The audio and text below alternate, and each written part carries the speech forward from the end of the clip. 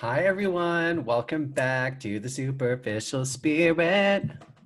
I should get somebody to write me a jingle for my podcast. Remember when jingles, I was just reading um, about how jingles used to be a huge business in marketing. And um, now they have computers doing it. So good news for all the mu- musicians out there. Um, hope you're doing well. I am um, in my new place and I'm just sort of figuring out the setup. My ring light was in storage and I missed her, but she's back now, so I'm looking all good.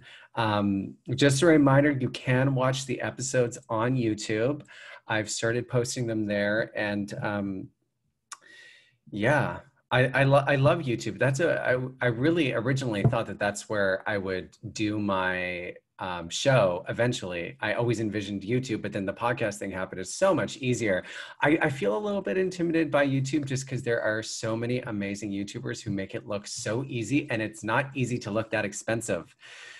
Oh my God. And to make all the thumbnails and stuff, um, there's a lot of work that goes into it. So I'm slowly adapting to all of the different platforms that podcasts are on. So if you have any tips, let me know. Thanks so much for tuning in up until now. We're like almost six months in to the podcast. No, that's not what I mean. Is it? Yes, we are because 52 weeks in a year. And I think this is, you know, we're in episodes mid 20s. So I, I, I'm really happy with how things are progressing. And I really appreciate everybody who listened. And I'm having great conversations. And um, I don't know when I'll be posting this episode, but today is the election in America.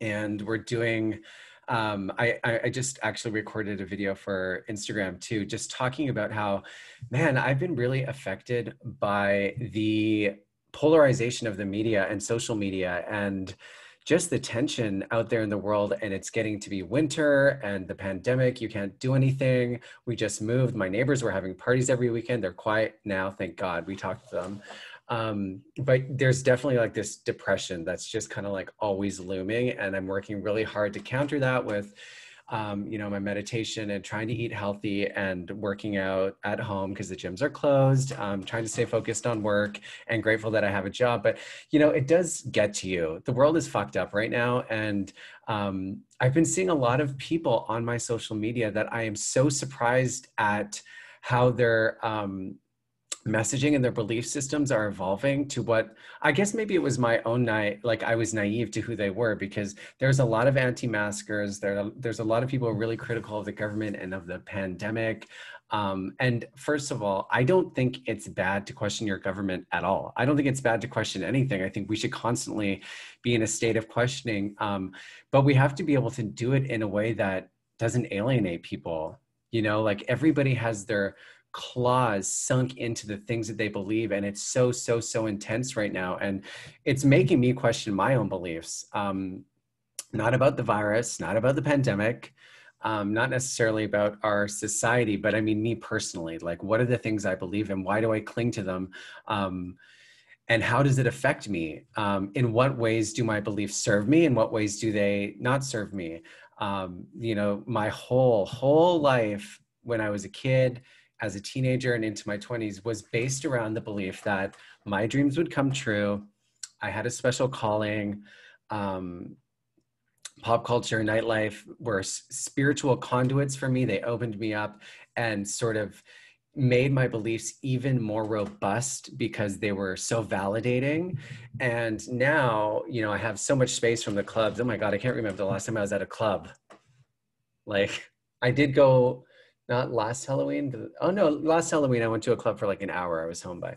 Not really my thing. Completely different experience when you're not drinking. Um, but now that I have some distance, I'm able to sort of look at that time in my life with new eyes and a fresh perspective. And um, I'm working on, I don't know if it's a book or like a zine, but I've been writing, I, I've been writing based on the podcast and it's basically an exploration of the things that i believe and why. What at what point in my life did i start believing that my dreams could come true that i was destined to be a star? And how did that what were the steps? Like where did that start and what was the path i took and how did it get me here? Because i i'm a scorpio. I was born in the week of depth. And so i have this there's there i do have a nature where I, I do want to get deep i want to find out why i am the way i am and why I do the things I do. And um, it's been interesting. I mean, Evan and I talked about this on the podcast before. Not everybody's dreams can come true. Not everybody can be a star, but that actually directly conflicts with with a, with a lot of people believe that you can manifest your own reality. That whatever you want is true, um, or that whatever you want can happen. Um, you know, in a more wholesome way, if you work hard, you'll get what you want. Um, if you believe it bad enough, it will come true. All of those things, which I have believed so fervently um, and I wouldn't say that I don't believe them now, but I am open to having discussions about like, you know what's interesting me? Interesting to me, not necessarily the people whose dreams come true because we are bombarded by those images all the time. The people who are rich and famous who are telling us how how you know they worked hard and oh my god, I was watching Kim Kardashian on um, not David Letterman. It was the E True Hollywood story of Kim Kardashian, how they were really trying to paint this picture of how she's overcome so much adversity and she's such a hardworking woman and she's a pioneer. And it's like, listen, yes, Kim Kardashian, sure, she stands alone in pop culture. I mean, if you want to completely forget about Paris Hilton. Um, but you know the overcoming adversity thing and how she's worked hard i'm like no you were literally grew up with rich and famous people. Your family had a reality show on e. You were best friends with paris hilton and you started selling products to your social media following.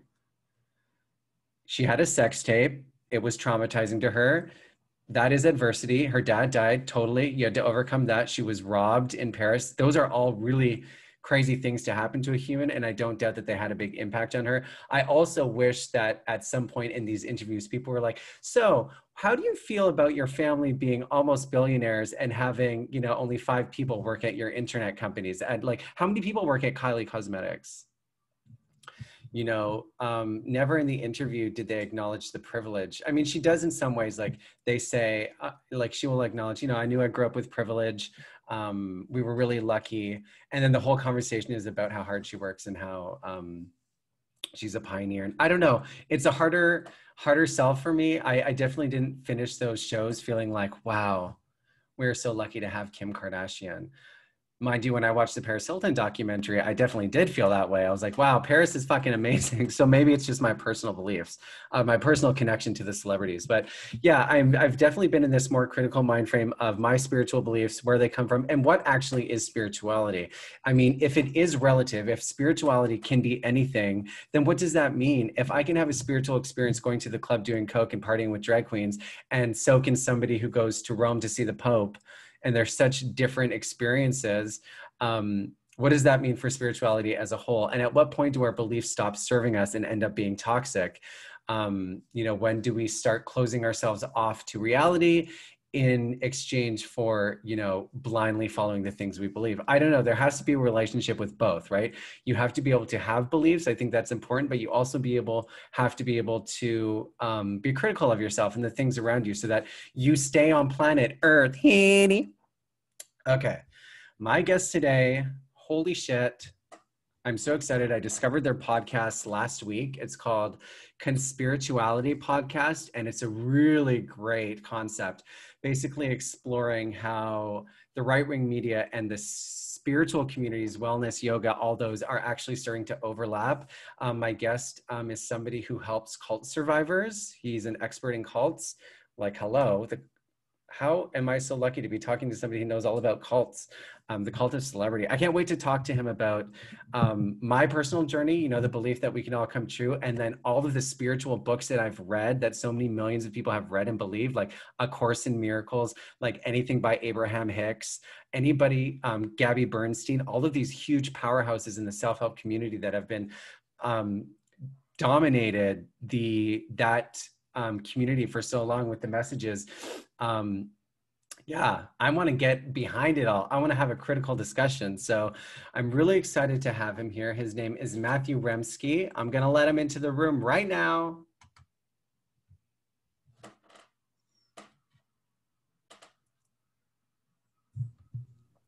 Hello. Hello, Peter. How are you? I'm great. How are you? I'm good. Thank you. Thank you so much for talking to me this morning. Sure. Do you um do I need headphones or do I sound okay to you? You sound great. Okay, great. Yeah, you sound perfectly fine. Um, I so I was just recording the intro and saying how I was so excited to find your podcast last week. I've I've it's the first time I've heard of this spiritual conversation with a more critical lens and the way that you're pinpointing so many things that I've been attached to for so long. It's right. such a great, great, great, great, great approach to the conversation. So I'm really excited to talk to you today. Oh, well, thank you. I, I appreciate that. Thanks so much for your kind words.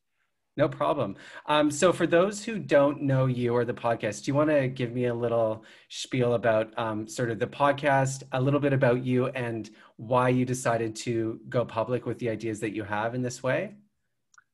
Well, um, I've known my colleagues, uh, Derek and Julian, for about 10 years. Um, I've never met Derek in person, but Julian I met once uh, when I was in LA.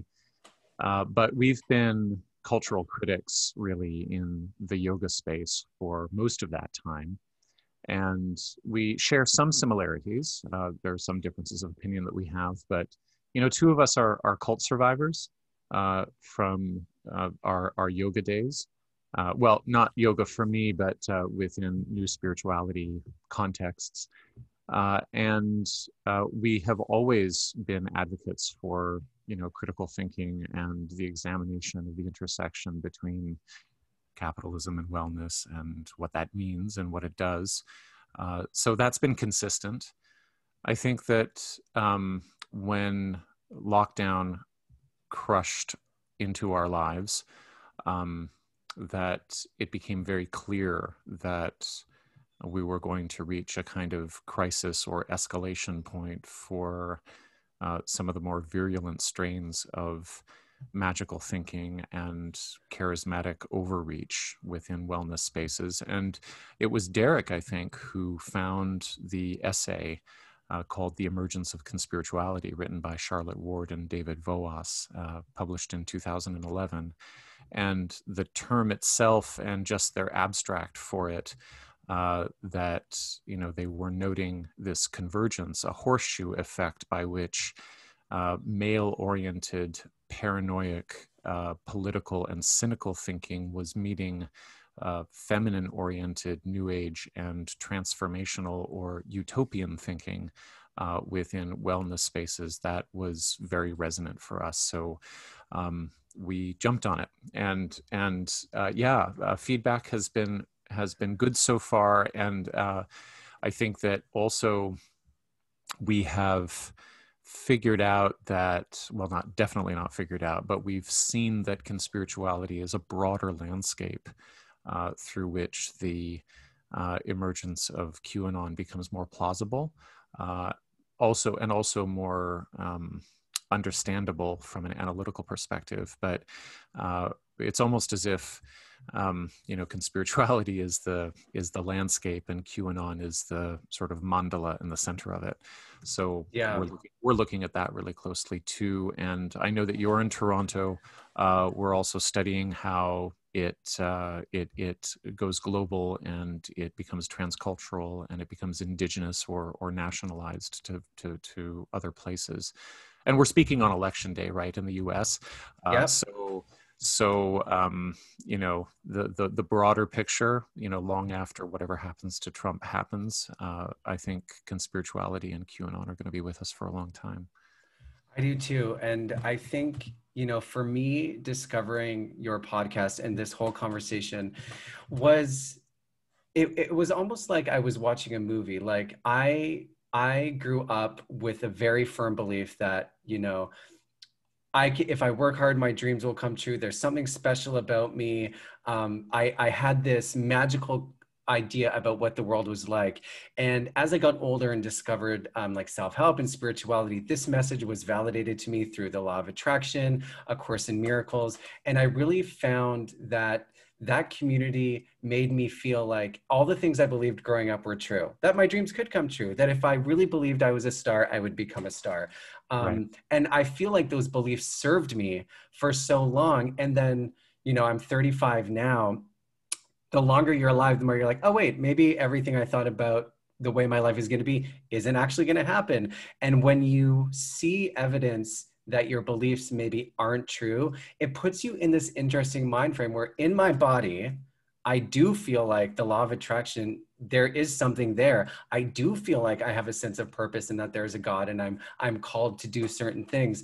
But also all of these people who are telling you, you know, think rich, be rich, the law of attraction, they're making money by selling these books. And that's always been, and you go to these psychic fairs and you have all of these people trying to make money. They're all broke, they're all looking for love. And I felt like there was this gap where, yes, it resonates with me, but also, why isn't everybody rich and famous then? you know what I mean?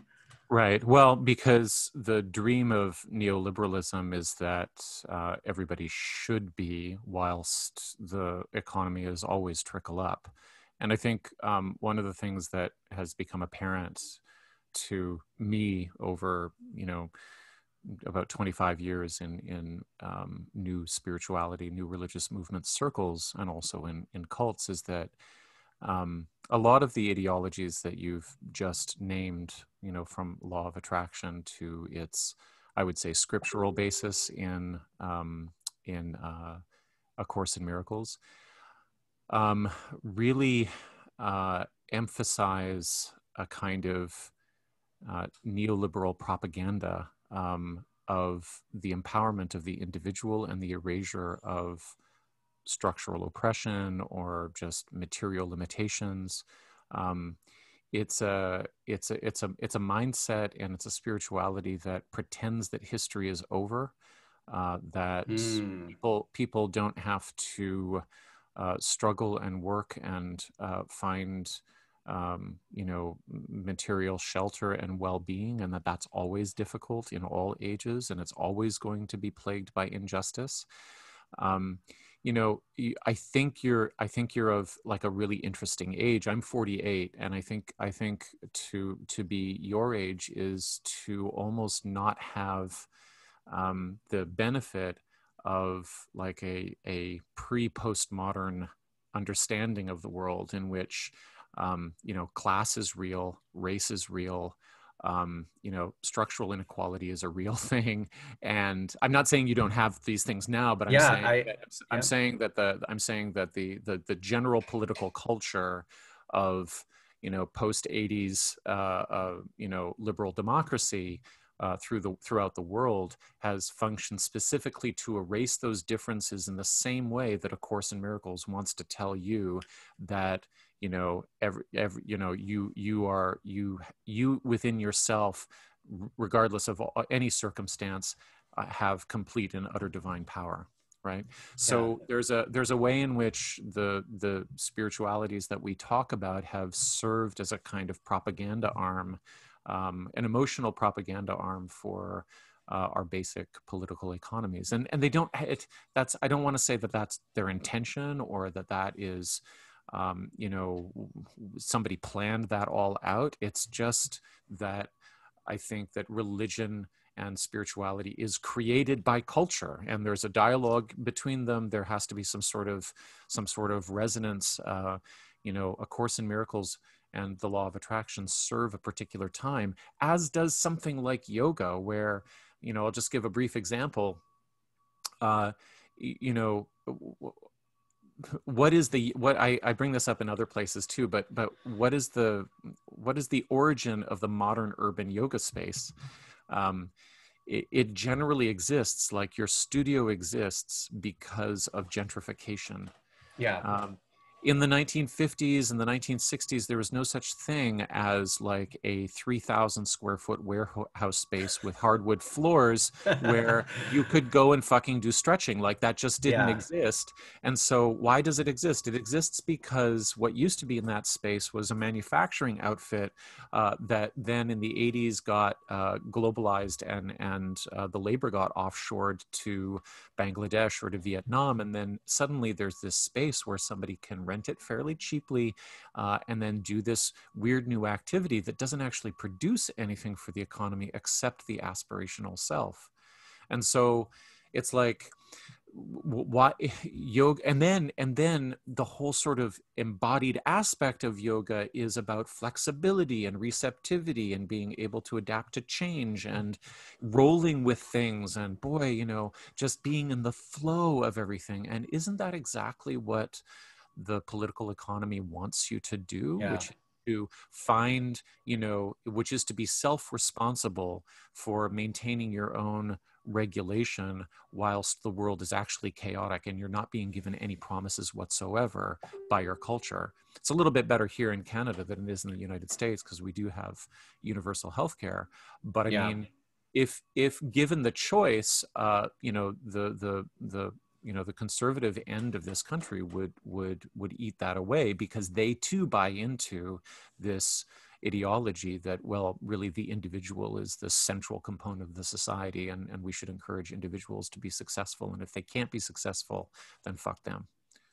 I mean, yeah, then fuck them. That's the whole thing because these it, it, you when you bring up my age it's interesting because i also grew up in a time where you know it was like the reality stars and social media started to emerge and it was the commodification of self so you add the you know the the spiritual the way that they're um commercializing spirituality now mixed with the way that we consume pop culture and celebrity kind of meshed for me in a way yeah. where I feel like I'm being told on a spiritual level that I just have to connect and align with the right vibration and I can create any reality. And I'm watching people with no talent become rich and famous. And I'm like, okay, so all I need to do is meditate, you right. know be clear and then i will become super famous and when you go into like for example nightlife and you're drinking you're doing drugs it's all validating because it's kind of like this illusion and then it was really hard for me on a personal level to start breaking down those belief systems and be like like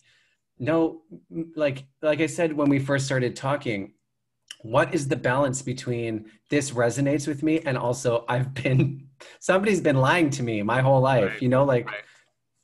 it's it's well, it's a well, hard it's balance. Like, right. Well, I mean, it's it's there can always be too much of a good thing. I mean, the basic I, I it makes me think of like cognitive behavioral therapy or something like that. The basic sort of premise that uh, you can within reason make certain organizational and behavioral choices with your day that will help you regulate your mood uh, and that will be helpful. And you know you might have strategies like making lists or you know having a timer or making sure that your you know your social media consumption is limited to a certain amount of time per day or you know whatever it is you you can you you can set goals you can give yourself limits you can uh, do a certain amount of, of self-regulation. Tony robbins will say tell you that that's the only thing that you have to do. And in fact in fact you know that that if you complain about something else being an influential factor in your life like race or like you know being gay or being you know being marginalized in some way if you if you complain about that you haven't sufficiently taken responsibility for making your lists and setting your timers and whatever uh, right so so yeah. it's like it's like that it that that is there's some line where I mean Tony Robbins just leaps over it with yeah. his you know with his 25 foot legs, but like it's uh it, it, at a certain point everybody on a charismatic uh, kind of conveyor belt will cross over that line where this one fairly good idea that they have just becomes the thing that they're going to turn into the magic pill that solves everything. And the world is just more complex than that. And and and when when influencers you know robbins would be like the absurd end of the the spectrum but everybody within that category uh, who who is an influencer generally has one bit of content to offer and then they have like a delivery device that we can call charisma which isn't based upon accreditation or um, you know or or training or peer reviewed research or anything like that. It's like a glow right? Yeah it's exactly yes. Oh it's God. something that makes them attractive. It's something that that plays well on social media which then amplifies this kind of marketability of an ineffable quality called charisma that encourages a person through positive feedback to then like expand their their their claims about this one little useful piece of information that they have until until it's until it's like the only thing that can possibly save the world and here's my new training seminar in my one yeah. little thing that can save the world and so it's it's um there's so many sort of disruptive influences that that come together with the marketing of you know helpful ideas that can cross over the line into sort of tyrannical ideas do you think then that like what is the value of somebody who is charismatic and maybe does have insight into living a better life and they do feel like I want to help people is there value in somebody getting online just randomly and saying hey guys this is what I want to do and then that's enough? Or does the problem lie in the way that it grows and then it starts feeding the ego and it turns into this way to make money? Like do you think that it starts um, genuine and authentic, and they really just do feel like they oh, they have often. a message can help. Yeah. Oh, often, often, often. I'm sure it does. I'm sure it does, and I don't think, and I think that I think that the explosion of social media has happened so quickly that there have been no user manuals. Uh, written uh, for it. It's not like I mean I would I have I have two sons they're they're eight and four and I would love I mean we'll do this at home if they don't get it in public school anyway but I would love some sort of introductory primer to like how social media works based upon engagement and and uh, and and you know uh, what what it's what the what the impacts are. And i mean they can just watch social dilemma too so it doesn't it uh, yeah. that kind of work is oh, done. God, yeah. But i mean um it your question actually does make me think of the eight year old who is like filled with creativity and bursting at the seams with everything that he wants to do. And like he and and you know it is a breathless task to keep up with encouraging all of that and providing you know avenues for expression and and so on. And like um but your question reminds me of or makes me think of like what would happen if i just released all of that excitement or if he was able to just release all of that excitement onto youtube with no oh my god. sense of with no sense of like well how does the world work? How is valuable knowledge actually produced? How are things verified? Um, all of the it's it's like the childlike enthusiasm would itself be the product that the person would have to continually upsell and recycle and and and amplify but i mean if you took that and you said okay now like learning you know an instrument or learning right. you know, how to be a really good writer okay now go to school now like it, what how what in whatever form that takes like get some mentorship recognize what it means to do something within a community of of thinkers that can hold you accountable for you know your overreach or your over enthusiasm or your bullshit or your tendency to like you know push the the facts a little bit. I mean this is especially true for writing you know because there there's a lot of people who just are bursting at the seams to share things with writing uh, and you know it would be great if that energy could be taken uh, and really given some care and some and some mentorship and the kind of mentorship that says that says okay if you're going to want to if you're going to contribute something useful to a lot of people that's not going to be a solo effort it's going to be an mm. effort that actually goes through you know a review process and it's going to have to accept feedback and you're going to have to discuss it and you're going to have to like stand by what you say uh, you know in in a way that that you know the social media climate just doesn't doesn't really force people to do yeah, no, it's a good point because right now you can have an idea, you can be really excited and share it, and that energy is contagious, and people get addicted to that rush of like, oh my God, this is new, this is exciting. And right. you're right, instead of taking that and being like, what does this mean? How do I channel this? And it being attached to some kind of structure, it can c- take on a life of its own and, and I guess get away from like human beings are not responsible enough for social media. Like you said, we have not learned how to properly share information and ideas because you can get a little idea. You can be watching the news, get triggered, and put something online and then cultivate this huge new community of hate or bigotry or whatever without even having that intention. And I think without the structure, right, it gets away with us. So and it's I've not just been... young people it's not just young people too like i, I want to point out uh, you know, being a fellow Torontonian, that our neighbor Jordan Peterson has done exactly that from like a young mm. boomer perspective, right? Right. Which is which is you know here's here's a person with intense charisma uh, uh, a real tendency towards overreach and going out of his lane with regard to the actual research psychology that he was trained in who thinks that he's able to you know go to ottawa and give testimony before the senate on bill c-16 and get it totally wrong, get called out on being wrong, kind of ignore that because he's not actually responsible as a U of T professor for getting things right in the public sphere. Oh, and so then he starts making money on Patreon, being a darling of the alt right. So I don't oh, think oh, that he has, I don't think he has, you know, uh, uh, negative intentions. I think he's very, he's just, he's very, very confused about what's helpful and what isn't.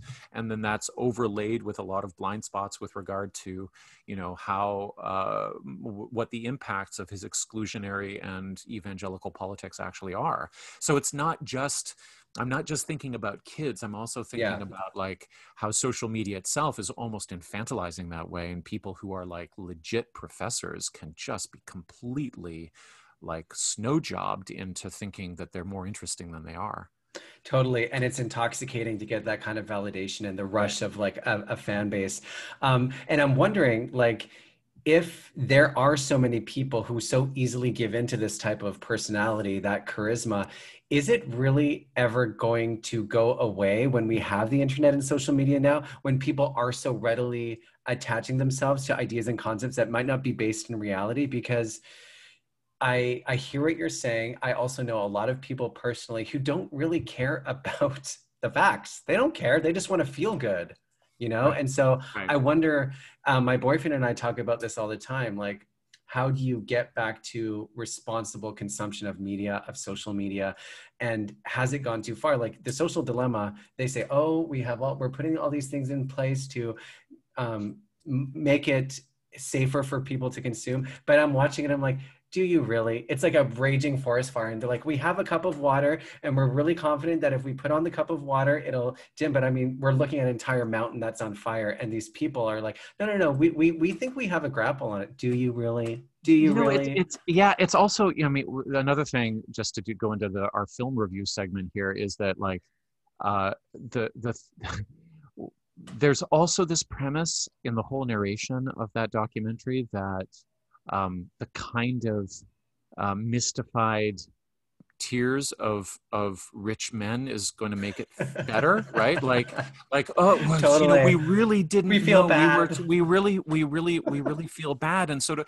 but even that is an emphasis upon sort of like the the cult of individuality it's like if you can get the guy who used to work for Facebook to, you know, to his his eyes to well up on camera in his multi-million dollar home while he's talking about the fact that he won't let his kids use social media. If you can get yeah. him to sort of have the sniffles, then like it has this the, the, I think we're being asked to invest in the emotional value of that penitence when I just I don't know what else they can do really having let the cat out of the bag but I just have this feeling that that um, analysis is not going to do it um, yeah.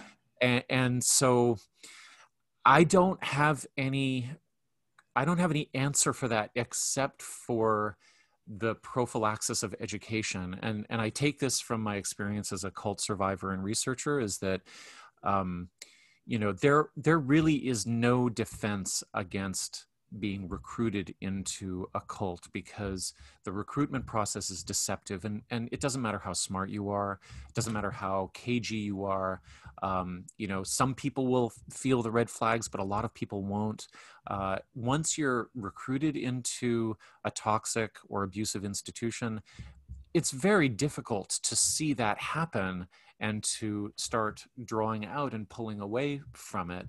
And so, you know, cult researchers for the last 20 years have said, you know, basically what we need is inoculation against cultic dynamics. We need to be able to communicate at the high school level, like mm. what what is what what does a what does a negative what does a negative um, uh, uh, group dynamic feel like at the outset? What does charismatic abusive leadership look like and feel like?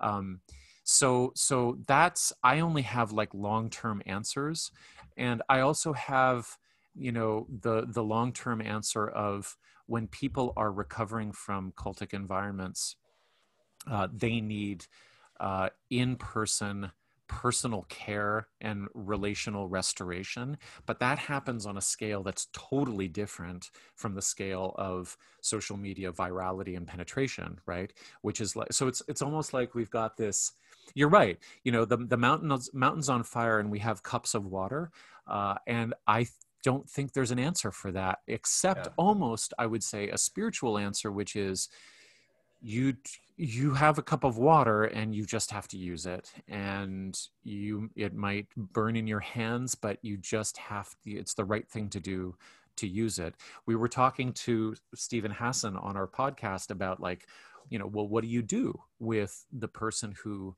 you know got swept up into qanon how do you how do you how do you help yeah. them he described yeah. this long he described this long tender intimate process involving like baked goods that um, that that was going to be essential for giving the person a sense of reality based care uh, and i said to him i said like you know we're talking about hundreds of thousands, if not millions, of people who have been infected by this brain worm and their families are being destroyed by it. Like, how do we do this one person by one person? And how do you do this without being demoralized? And he mm. said, Well, I, you know, I just, I just know that if I didn't do it, I would feel awful. Uh, and, and, you know, and, and it really does make a difference to help one person at a time. And, so, so, occasionally I can be inspired by that, but but yeah, yeah, otherwise I don't really have an answer.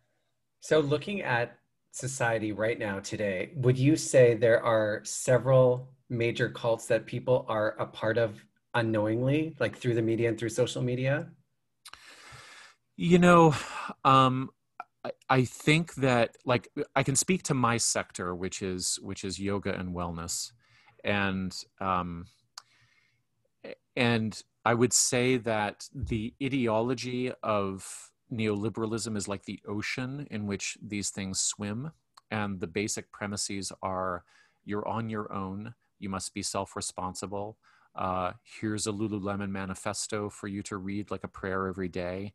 Uh, that will you know make you realize that all you have to do is drink eight glasses of water and you know uh, have good intentions and stuff like that uh, and all your problems will go away that kind of overall erasure of the notion of the common good, of the fact that we're actually interdependent and and we're we're we're we're nothing if we don't care for each other. That's like lays almost grooming groundwork for um, the the the principles of wellness and yoga to function as industries, right? Where right uh, the the the same ideas are at play the same drives are at play. Like you know seize control of your life make yourself you know find your internal divinity uh, recognize that all of the answers are inside you uh, don't look outside of you. And so there's a kind of like narrowing of and a sharpening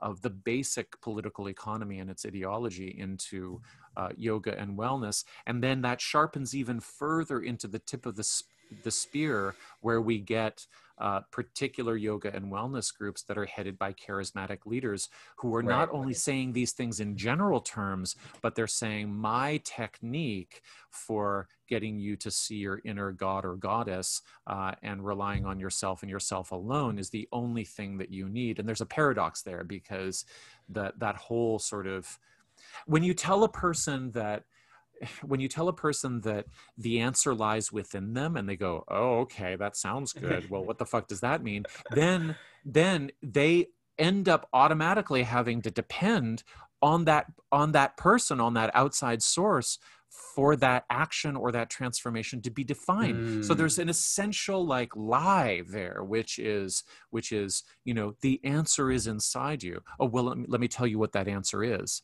but let me tell you what that answer is. And by the way pay for my subscription thing. And exactly. so so it's like it's uh, so i'm not sure if i'm I, I what I I guess I'm sort of dodging your your question about are there mm-hmm. specific groups that we belong to to say that it's like there are there are there are broad social economic political forces at play that allow and enable cultic organizations to grow and emerge and be, and solidify and become highly organized. Um, if we had and and this is this is part of my you know this article that i'm writing for uh, the walrus that that might be out in the next couple of weeks uh, which is about how qanon is infiltrating canada uh, and how that's happening differently here than in the US.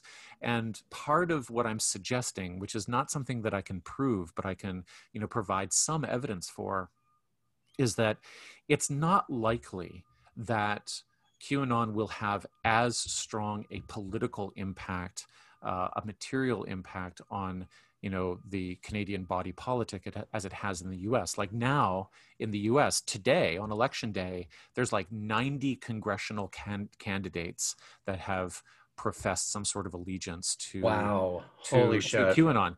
And here in Canada, uh, we have Maxime Bernier who mm-hmm. tweeted out who tweeted out one Q related tweet and then deleted it and said, "Actually, I didn't know what I was doing. Sorry about that."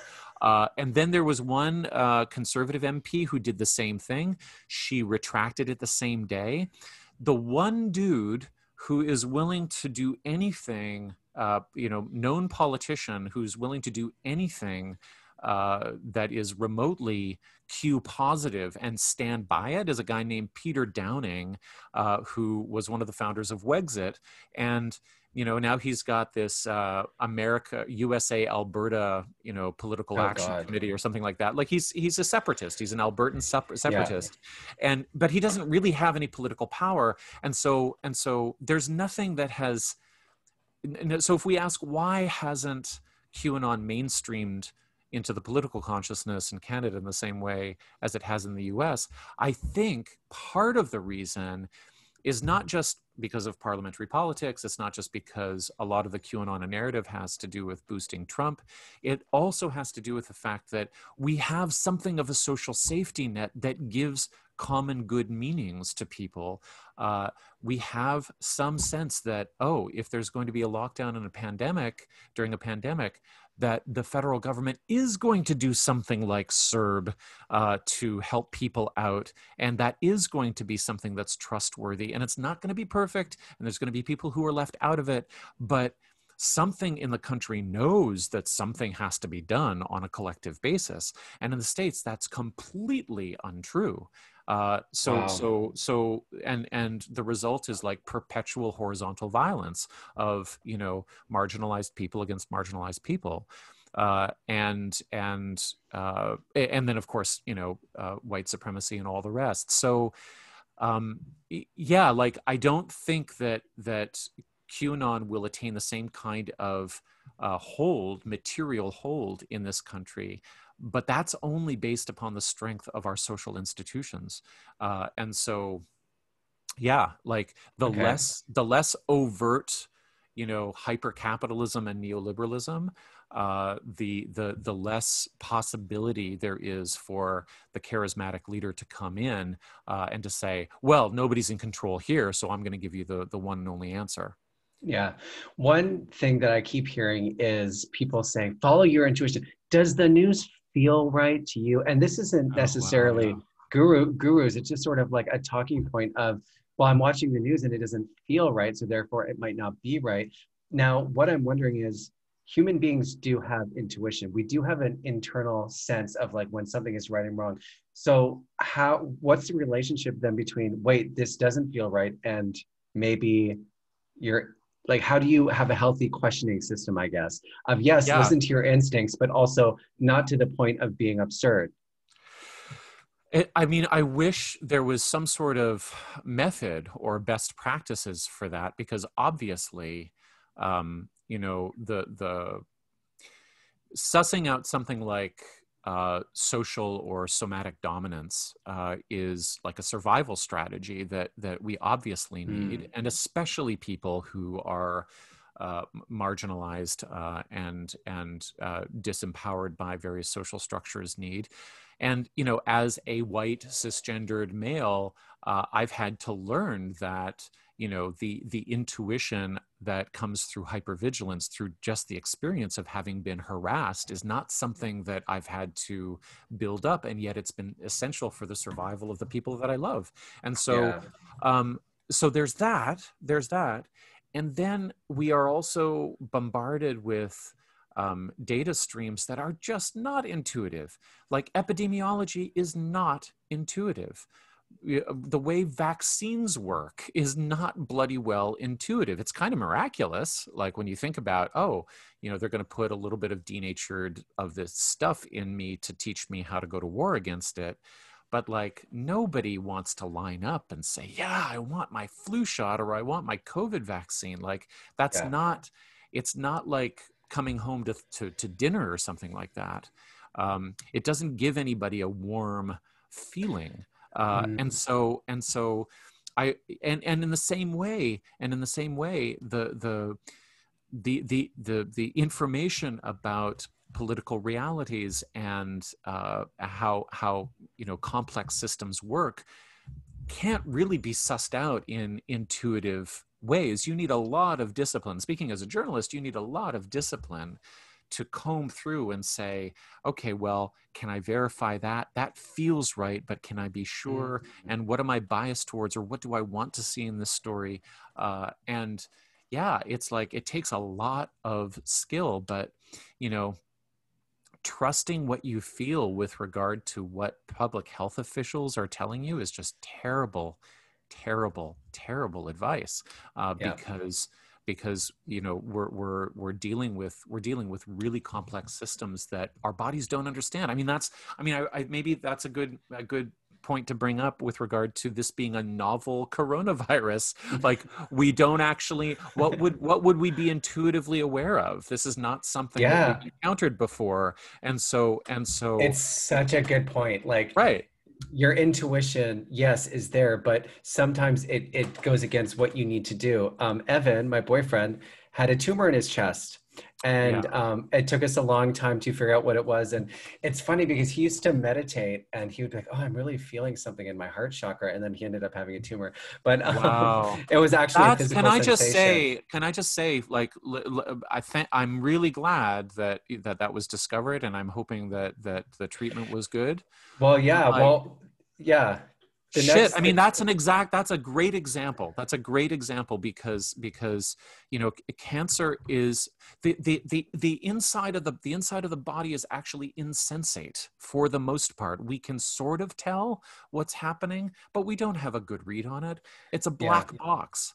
And and yep. and that's and if it wasn't a black box we would be driven mad by internal sensation like exactly. interoception interoception the capacity to feel like how you're breathing or what you're swallowing or stuff like that that has a hard limit to it and if it didn't we would be totally obsessed with every little like intestinal gurgle and so and so and so the thing about cancer is that it's not something that we discover until it's shown to us generally or until it makes it's large enough that it makes some sort of mechanical uh, obstruction mm-hmm. into our movement and here's the thing here's the thing is that the entire new age wellness uh, ideology is built upon the premise of absolute self-knowledge right and yeah. so and so when it encounters a situation in which actually you don't know what's going on in there it's super super insulted it yeah. it there's a real it presents a real attack on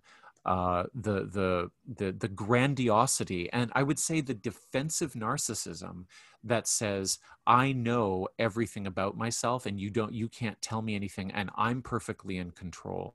Yeah. Uh, and I think this comes up in the in the anti-masking uh, stuff as well because you know when people people have all kinds of weird objections like oh it's it's you know symbolizes the suppression of my free speech or it's like Oh sig- signaling that i'm a slave or something like that or it's or or you know jp sears will say say you know it it it removes the connection between us and we can't you know it's going to impact our brains negatively as though like you're not taking your mask off at home and talking with people on Skype and seeing their faces. It's like just bizarre. Anyway, um, Yeah. I think one of the things that they don't say, because I think it's actually hard to articulate, is that when you tell a, a new age wellness aficionado that they might be sick but asymptomatic, you're like giving them a like uh, uh, you're giving them a brain problem because Yeah. they're because because what they have to believe uh, in order to fulfill their ideology is that they know exactly what's going on in their bodies at all times, which means being asymptomatically ill with COVID 19 is just not a thing. I would know if I was sick. So don't fucking tell me that I'm sick because because I'm not. Like it's it's an insult, and that's why I think the the the the mask is just such a bizarrely emotional idea because because the because the folks are like personally insulted Yeah. by the the notion that that they're not in total control and they're not omnisciently like savant about themselves. I mean, I'll tell you a really hard lesson is like when when we did discover that tumor, we we wanted to go the natural route and we Yeah. did. And we had naturopathic doctors telling Evan not to take steroids, not to get surgery because if we heal the trauma from his childhood, it would dissolve the tumor. And you know, we're two late 20s guys living in Kelowna and we desperately wanted to believe that we could think ourselves into making it better. Like evan wasn't happy enough. He didn't love himself enough you know and it was a really hard pill to swallow when we have to take you to emergency. You have to get surgery and you go on these pills you're rejecting but then they end up saving your life. Wow. it's it's a really it fucks you up because it challenges your beliefs but then now we know on the other side yeah wellness is a thing. Meditation is a thing. Eating diet all of those things are important yeah. but if there's a tumor in your chest you need to get it out. You need to take medicine.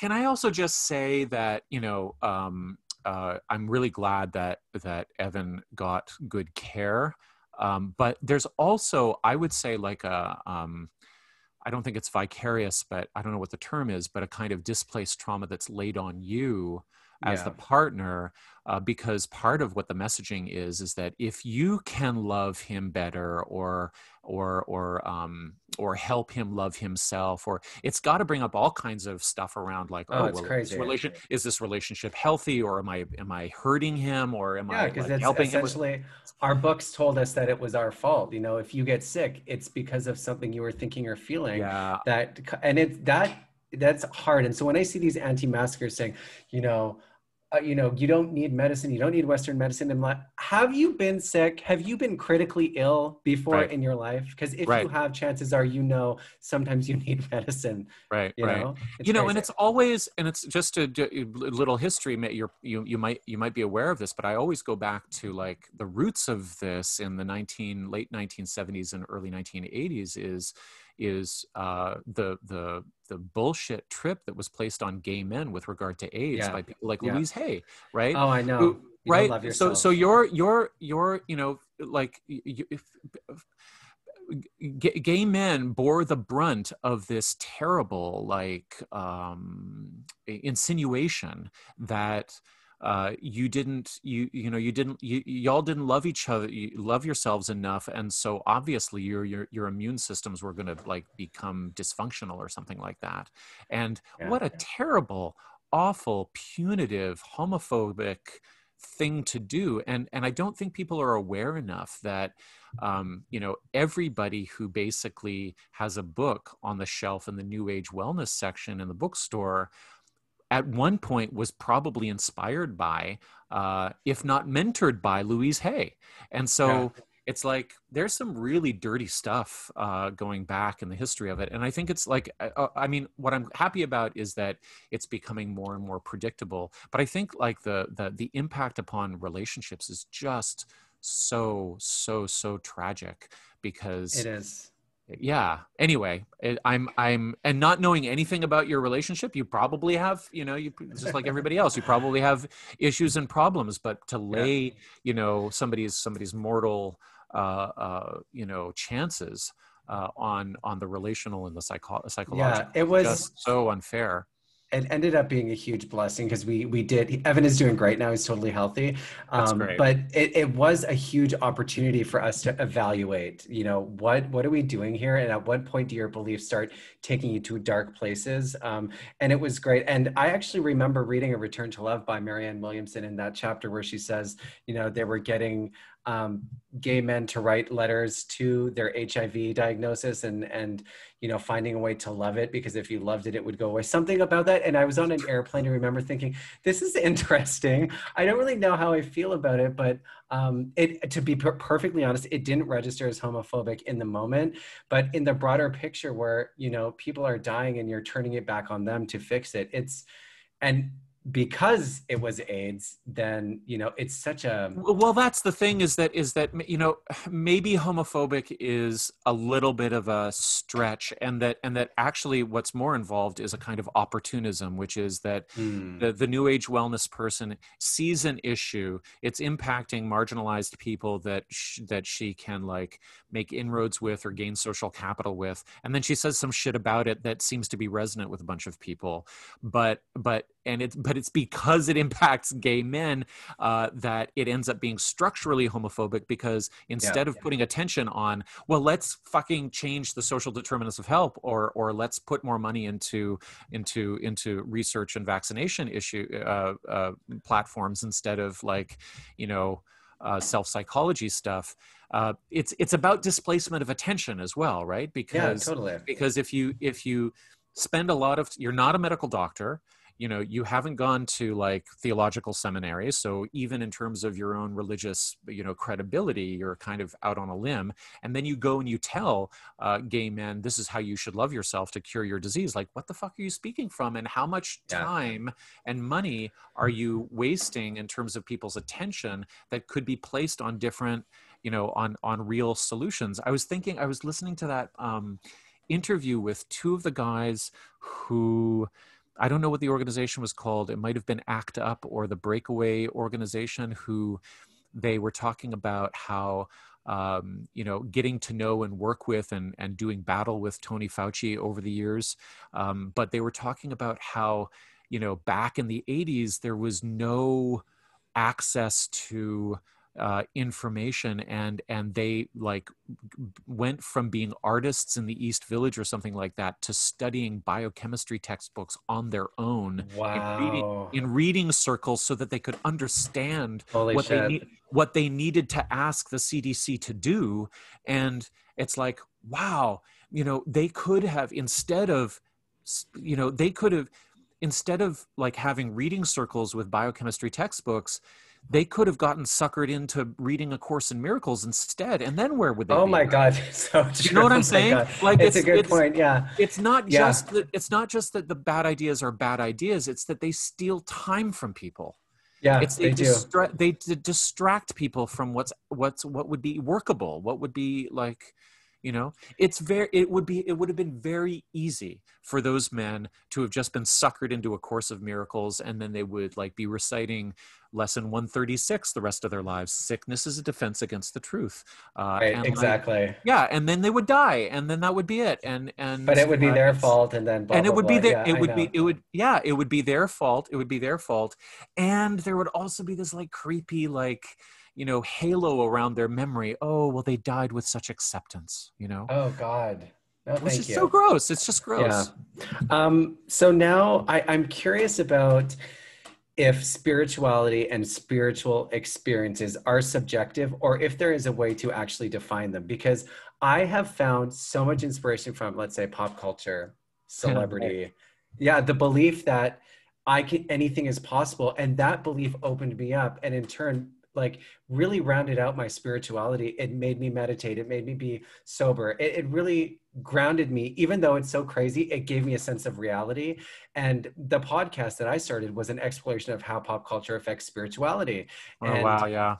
Yeah, and I'm it's so having- great. It's such a great Yeah. topic. I got I got to I got to listen I got to listen to a bunch of it now. Yeah. But it's like uh, okay, so is there something objective about spiritual experiences? I don't know. I don't think so. I mean, going right back to William James, uh, the, the the definition of religion is kind of like the peak experiences surrounding the deepest issues of our lives. Is that's always resonant, and you know, if that comes from being completely overwhelmed by the brilliance of Kylie Minogue and whatever Yeah. or something or or like or or or I don't know watching Paris is burning or watching uh, Exactly, Edith, yeah. Edith Piaf or or like who whoever the whoever the icon is and seeing that somehow they were able to create such incredible beauty whilst being so strange and odd and and fucked up in a way and they just didn't care and they just went for it like that's yeah that's that's what what wouldn't be what wouldn't be spiritually compelling about that you know Exactly. Um, and I think like it being uh like a conduit, something that sparks Totally. something in you that makes you go down that path. And it could be the thing that I find interesting, it could be an obsession with fame that makes you go and explore, or it could be the Pope and you go to go and see Right. him. You know, like Right. how can two things that are so different invigorate the spirit in the same way? That to me is so interesting. And is it true? Like, are is that spiritual experience real? It feels real, or is it more of a disillusionment with a fantasy? You know, because you can say the same thing about re- um, religion too, that you can about fame obsession. right i mean i i think i think like where my brain is going to is that there's a there's a there's a feeling sense a peak experience feeling sense in the the the scenarios that you bring up in a comparative sense and like it does seem that that that can come from anywhere and anything. And then there are I would say two other considerations involved like a um, is it is that experience generated from something and and does it remain within a context of the pro-social or the ethical? Uh, so that would be one Right. consideration. And then and then uh, you know yeah i'm because i'm sure that that jim watkins as he is like running 8kun and qanon is having some moments of peak experience. Exactly. manipulating exactly. people sociopaths sociopaths have ecstasy right so Mhm. so so um so there's so there's uh, you know is is the peak experience is it approachable through through interdependence and ethics and then the other thing is like how intense do you need it to be over the length of your lifetime? Because um and can you uh, for me uh this would be my goal is is can i uh f- can i find peak experiences and pleasures in smaller and smaller moments and in more Mm. normal and normal things Yes. uh, so that so that I don't have to and I think this might resonate with anybody who's had to become sober or anybody who has like um, you know uh, just had to, to to reduce and recycle a little bit um, for me it happens also because you know we've got two little boys at home and like there's just never there's hardly any time to do you know fun things for yourself so so it's really a matter of like um okay well how i've got i've got like maybe 30 seconds here in the kitchen where i can stand and appreciate this glass or this mug or something like that and yeah. and so so those those are the those like the the the the feeling of this peak experience that i i think is very common and that people seem to resonate with um that's like it, maybe maybe it's a universal thing i don't know but but the, those two qualifying frames are you know does it hurt other people uh and uh or and- yourself. or yourself and uh, is it sustainable in the sense that it doesn't depend on like uh, a- a- an ongoing escalation of stimulus in order to in order to Mm. be in order to be helpful you know Yeah, that's a great lens. Like if you can if you can have a spiritual experience but then like not need that thing replicated over and over and over again and it Yeah. sort of offers insight and then it's funny you bring up the glass of water because i was talking to a friend yesterday about how you know what can can anything be spiritual and i said well what if you have a really busy life and the only time you have to quiet your mind and be mindful is when you're brushing your teeth in your morning does brushing your teeth become a spiritual experience you Right. know? Right. Right. Yeah. Right. Exactly. Exactly. Yeah. So I think, I mean, I I loved our conversation. I can't believe it's already been an hour, but Yeah. Yeah. I'd love to have you back at some point. I can't wait to tell everybody I know about your podcast. It's such an important conversation, and I was really excited to talk to you about my own, like the pop culture spin, and you gave some really good insights. So thank you so much. Yeah, well, you're welcome, Peter. It's a pleasure to speak with you, and uh, we're we're neighbors, so maybe we'll actually run into each other at some point. Yes, I, I'd All love right. to. What part of the city are you in? uh, in the beaches. Awesome. Oh my God, I love the beaches. We're in Liberty Yeah. Village. So next time Oh, I'm down there, I'll let you know. Okay, good. Take Okay, care. thanks for talking. Talk to you soon, Matthew. Bye bye. Take care.